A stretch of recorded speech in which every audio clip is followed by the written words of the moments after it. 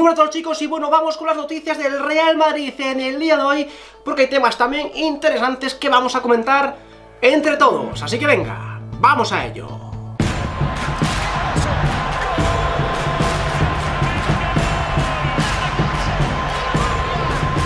Bien, pues como os decía, comenzamos con las noticias del Real Madrid y comenzamos con Lautaro Martínez, sí En noticias del Real Madrid, Lautaro Martínez porque según Sky Italia aseguran que el Madrid presiona por Lautaro Martínez.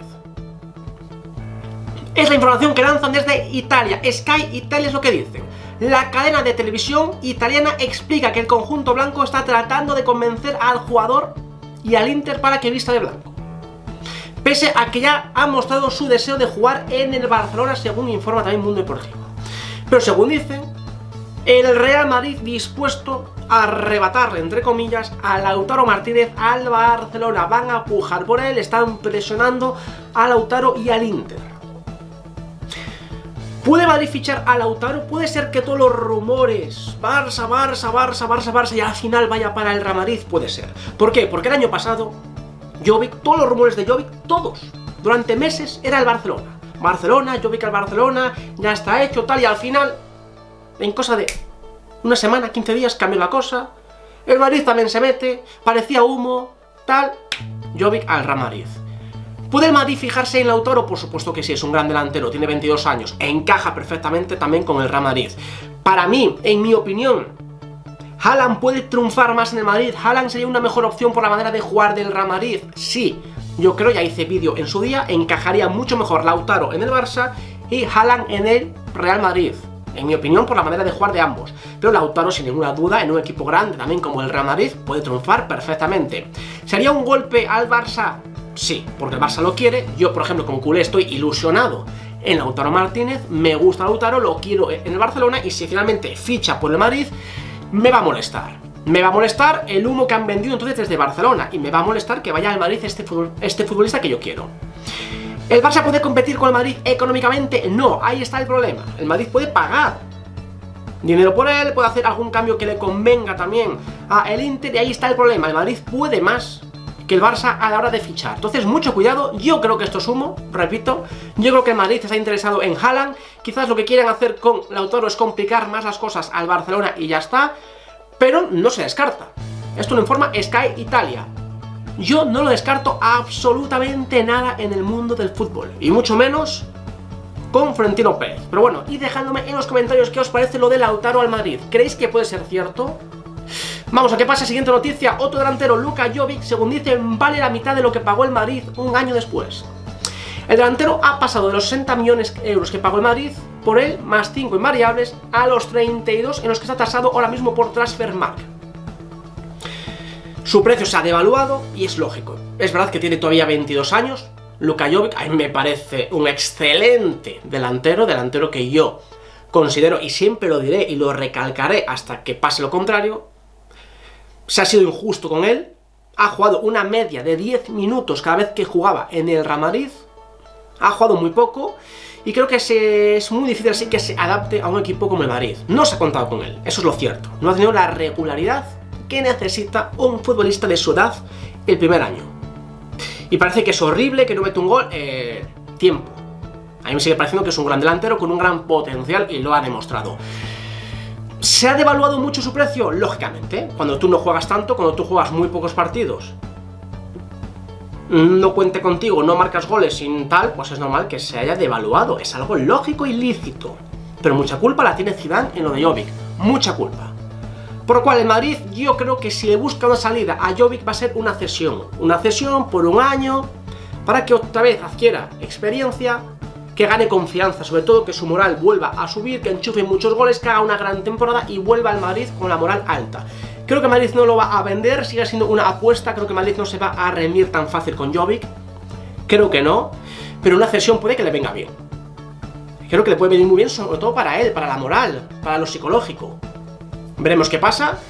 Pero desde luego yo creo que Madrid venderlo no lo va a vender y tampoco lo va a vender por esto. Porque perdería dinero. Porque los clubes también ven en lo que está tasado y saben perfectamente que ya no cuesta 60 millones. Entonces vamos a ver qué pasa con Jovic. Yo creo que el Madrid lo que debería hacer es darle una oportunidad, otra, pero dársela bien, contar con él. pero parece que al final no le gusta mucho Luka Jovic y entonces se complica bastante la cosa. Bastante. Vemos qué pasa con Jovic, pero bueno, su futuro en el aire y su precio ya ha bajado a la mitad. Siguiente noticia, según dicen Zidane, rebaja el ritmo de los entrenamientos. El técnico prepara un entrenamiento de menor carga para no saturar a sus jugadores. Nacho Fernández se reincorpora al trabajo tras superar sus molestias. Bien, como es obvio, los primeros días, según dicen, Zidane ha dado mucha caña al equipo. Mucha caña para recuperar bien el estado físico, para estar en forma, etcétera, sobre todo trabajar más sin balón que con balón, para, bueno, como digo, recuperar la forma lo antes posible porque tienen poco tiempo, ¿no?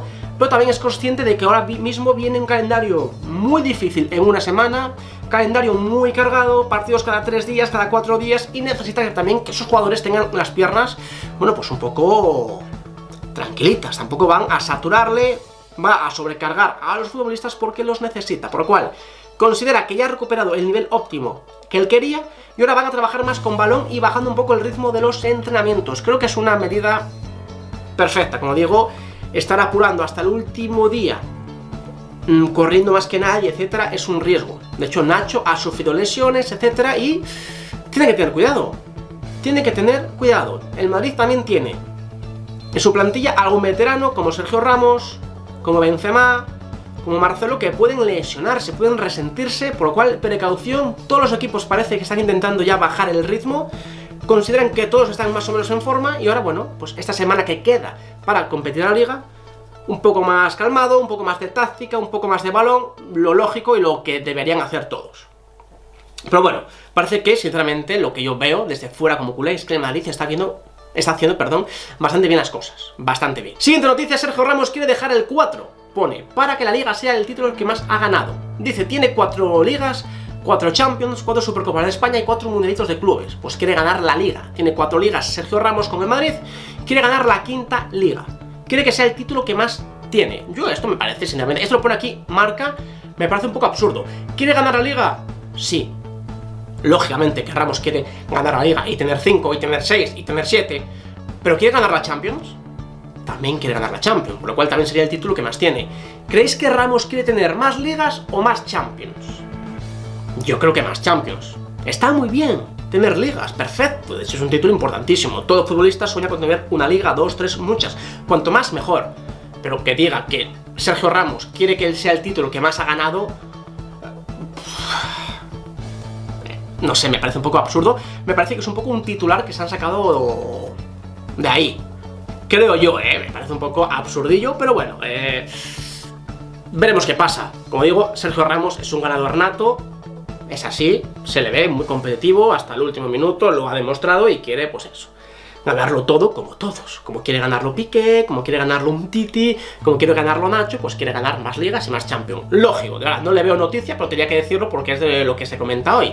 Y por último vamos a hablar porque Marcelo ha hablado. Y dice, antes de la final de la duodécima, el equipo tenía una ansiedad muy grande. El brasileño hizo repaso a la final del año 2017 contra la Juventus de Turín, que el Real Madrid conquistó la número 12. Es lo que dice.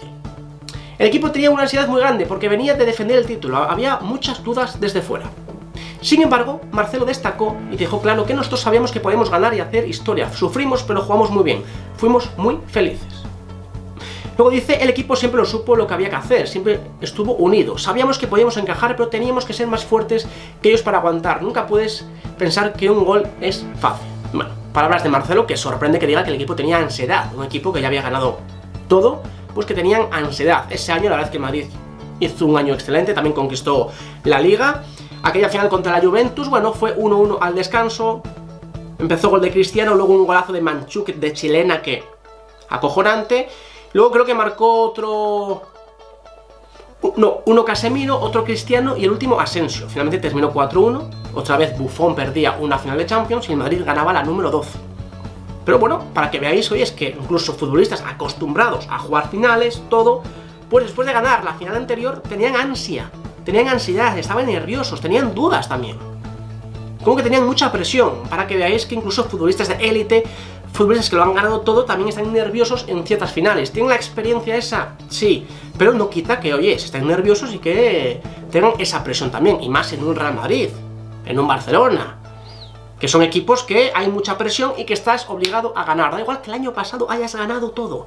Da igual, como el año que viene no ganes nada, van a por ti. Y te van a machacar, porque es así, hay una presión enorme. Así que lo dicho, palabras de Marcelo, y ahora por supuesto os pregunto a vosotros, ¿qué os ha parecido las noticias del Real Madrid en el día de hoy? ¿Qué os parece lo de Lautaro Martínez? ¿Creéis que tiene opciones de ir al Real Madrid? ¿Creéis que sí? ¿Creéis que no? ¿Qué os parece lo de Jovic? Que, que se ha devaluado. ¿Qué os parece lo de Marcelo? Dejadme todo en los comentarios, por supuesto. Dejadme un enorme like si os ha gustado, suscribiros al canal si todavía no lo estáis y nos vemos en el siguiente vídeo. Un saludo.